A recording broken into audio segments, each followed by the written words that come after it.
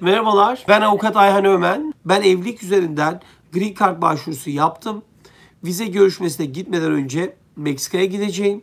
Yani iki ay sonra orada bana verilen vize süresinden fazla kalırsam bu benim vize görüşmemde olumsuz etki yapar mı diye takipçimiz soruyor. Anladığım kadarıyla siz eşiniz üzerinden yeşil karta başvuru yapılmış durumda. Ama siz e, Amerika'ya turist vizesiyle gelip gidiyorsunuz. Yani Amerika'da kalmadığınız bir süreçtesiniz.